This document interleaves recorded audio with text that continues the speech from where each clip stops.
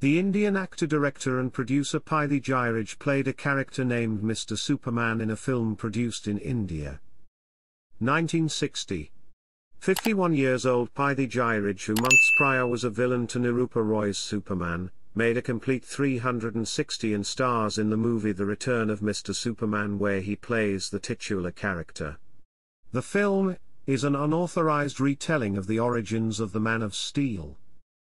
The movie plot should be familiar to Superman fans, finding a young child in the wreckage of a strange aircraft, a farmer and his wife raise the boy as their own. Growing up to become a newspaper reporter, he takes on a double life of a superhero when smugglers threaten the peace. This Superman visually differs from what we are accustomed to for the character with his driving goggles and leather helmet, black bodysuit with a white towel wrapped around the neck for a cape, and black boots. His chest doesn't even bear the shield of the House of El.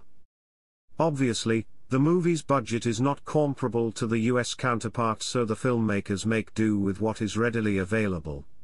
The film will not win any filmmaking or storytelling awards, but it has its place in Superman film lore as one of the earliest films outside of the US to make a Superman movie.